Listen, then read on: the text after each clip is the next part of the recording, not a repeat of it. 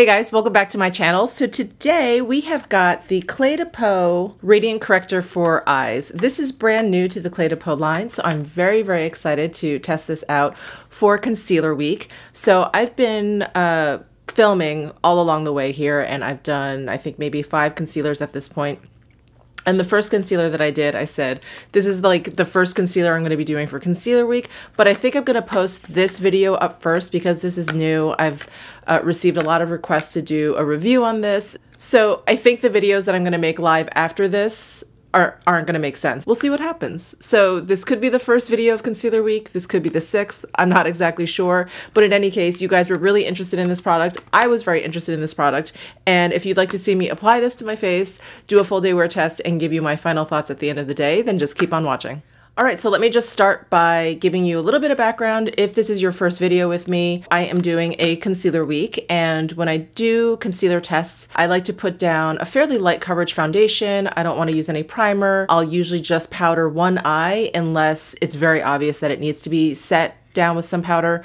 Um, so today I have the Chanel Le Beige Sheer Healthy Glow Moisturizing Tint on. This is a very light to medium kind of coverage uh, foundation, and that's all I have on my face. Of course, I've washed it and moisturized it. I'm 44 going on 45, so I have very dry skin. I've always had dry skin. That's not just from my age. I have like a little discoloration around my eyes. It's a little bit of sallowness. I don't suffer too much from like the bluish purple um, dark eye circles underneath um, the eyes, but I do have fine lines. So those are the things that I'm battling and that I would like to conceal with concealer. So that's just to give you some background. Right now it is 7.45 in the morning. So we're gonna do at least like a seven to eight hour wear test uh, with this concealer. So again, we're doing the Clé de Peau uh, Radiant Corrector for Eyes. This is brand new.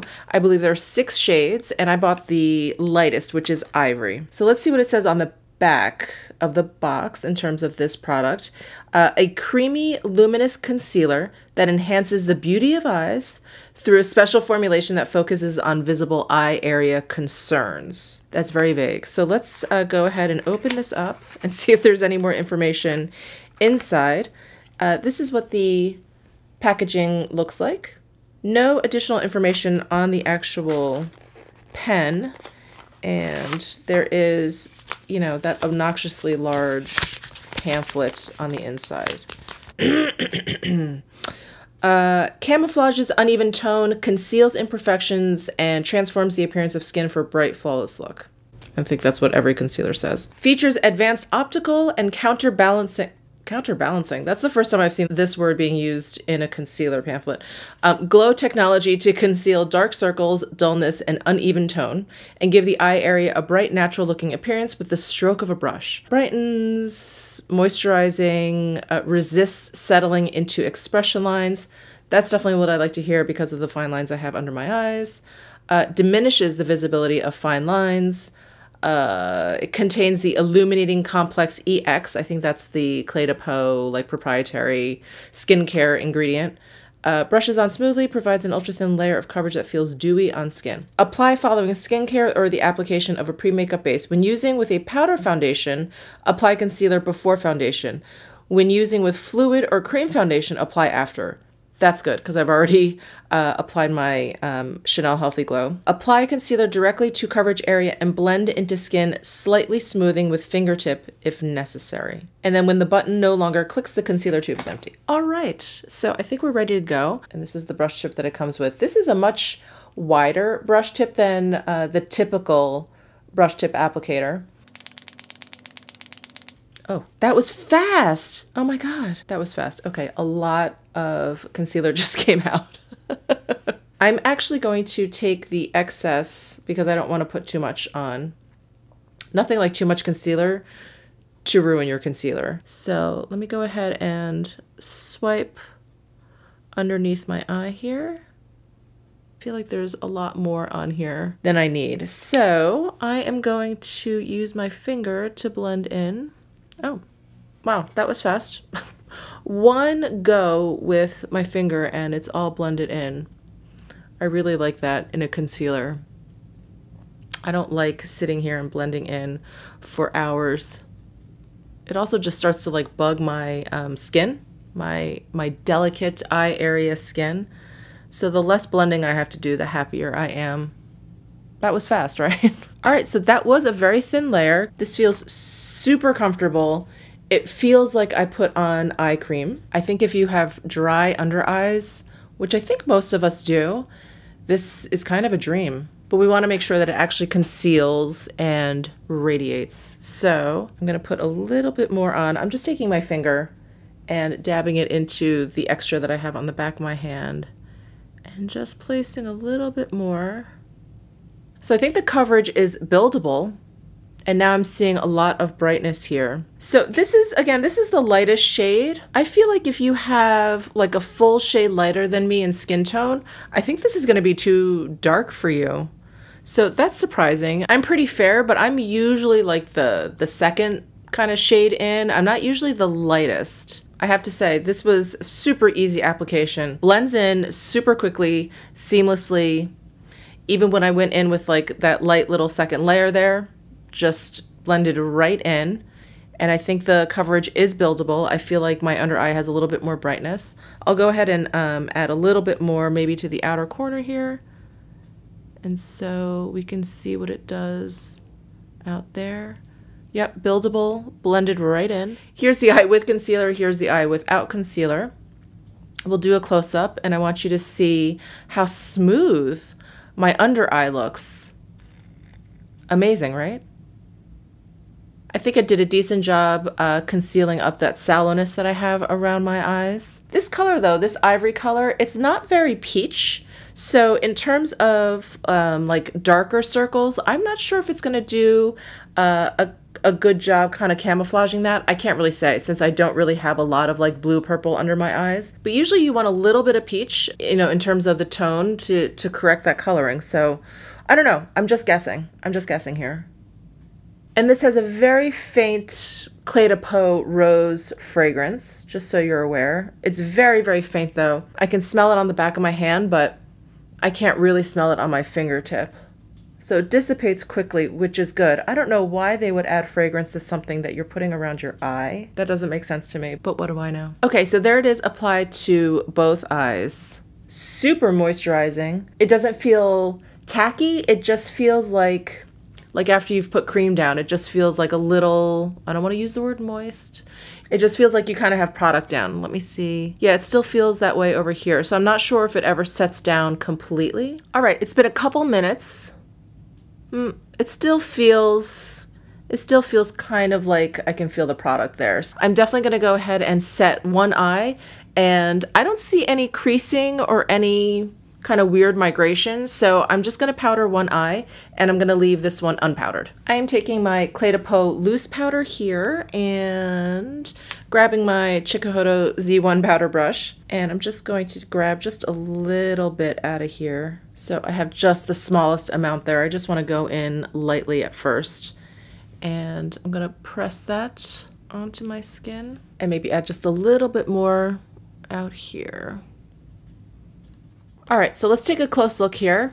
I'm going to zoom in and I I'm liking the look of both sides. I feel like this powder, which generally is very, very translucent, there's just like a super, super faint hint of like a light pinkish cast, but I feel like it added a little bit of coverage to this eye. So I apologize. I usually like to use powders that are just very, very kind of like translucent and minimal, and so we can still kind of see what's going on with the concealer, but I do feel like it's added a little bit of coverage. So I don't know if you can see the difference between these two eyes, powdered, unpowdered. I think both sides look really good. I think if I were to take a look at my eyes right now, I would probably want to powder both just because it looks a little bit more finished. But I do want to see how this uh, concealer does on its own. So I am going to leave this side unpowdered just for science, just to see what happens. But I like how it has basically like blurred the fine lines that I have underneath my eyes. I don't really see them that clearly, which is amazing and i think it's done a really great job brightening and it's super super comfortable at the moment. Uh, again it's 7.45 in the morning so i will be back uh, early afternoon to give you my first check-in and see where we are with the powder and unpowder and see if this eye has uh, deteriorated or if the concealer has migrated at all. So i will see you then It is 1.30 in the afternoon now, and I put this on at around 7.45, if I remember correctly. Uh, so it's been a while. It's been like six hours, I guess. So I have very, very minimal eye makeup on. And again, I only powdered this eye. Um, I have eyeliner and mascara down on both eyes, but zero um, eyeshadow. So this concealer looks impeccable. No fading on either. The blurring effect is still going strong. I don't feel like my fine lines are coming through at all, powder side or non-powder side. And I really feel like I'm cursed in a completely positive, amazing way because again, I usually have not great luck with concealers and I'm very picky about concealers. All the concealers that I've been reviewing so far have been amazing. Have been amazing. Some have had more coverage, some needed to be like set down or whatever, but they're all like really good performers. I haven't had any problems with any of them yet. I am really, really impressed. So let's do some close-ups and I hope you're seeing what I'm seeing, but it looks like I just put it on.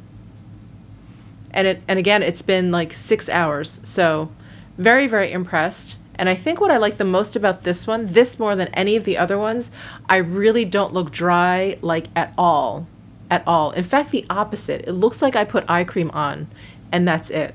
So, so far, so great. So I'll be back at the end of the day, uh, probably around dinner time. And at that point, it'll be like a 10, 11 hour wear test. So we will see what's happening with this concealer then, and I'll see you then. Hey guys, it is about 5.30 in the afternoon. So I've had this makeup on for about 10 hours now. Sorry, my, my little puppy is here. She's whining. She wants to play. Hang on, baby. I'm just going to do this real quick, okay? They just want to know how, how the concealer's doing.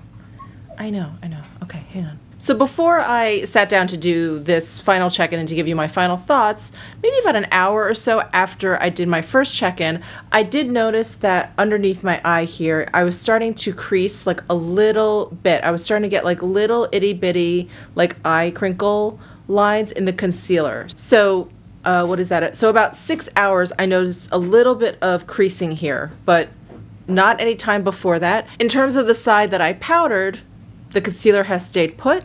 I don't feel like it's faded at all. It hasn't creased. It hasn't sunken into my fine lines. I am having a I am having a little bit of like a mascara malfunction, so you'll see a little bit of like darkness under there. Fuzzy Butters, mommy's talking. But let's do some close-ups so you can take a look at my eyes. I think we may have a new favorite concealer here. I am really really impressed with this concealer i'm mostly impressed with like how healthy it's made my eye area look you know it doesn't necessarily look like i'm you know concealed to the gods like i just have like this like shield of perfect color around my eyes i just feel like they look really healthy it looks uh, radiant. It doesn't look dry. My fine lines don't look emphasized.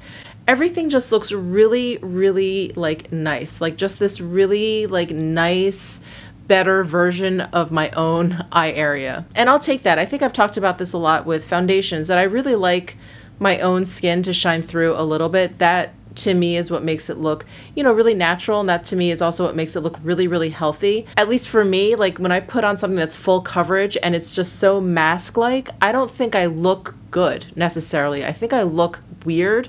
I think I look almost like unhealthy. So anyway, I feel that way about this concealer and not to say that it doesn't have good coverage because I think the coverage is decent. I want to say this coverage is like a medium, but this is not one of those like super high coverage. This is not like your Shape Tape kind of concealer. This is definitely like a let's make my eye area look the best that it can without making it look like I have like cake makeup on. So yeah, I am loving this. I think out of all the concealers I've tried, and again, I don't know when I'm posting this video. This is going to be probably out of order. I'm probably going to be posting this first. But out of the concealers that you'll see probably over the next five days or so, this one I think is my favorite so far. This is just like my kind of concealer. I do plan on doing a concealer week roundup where I talk about, you know, which concealer had the most coverage, which one felt the nicest, which one had the best longevity, which, you know, et cetera, et cetera. And this one definitely doesn't have the most coverage, but I think this is going to be like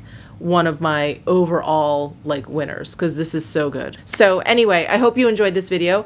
Uh, please give it a thumbs up if you did. Let me know if you have any questions down in the comments section. Subscribe before you leave and I will see you in my next video.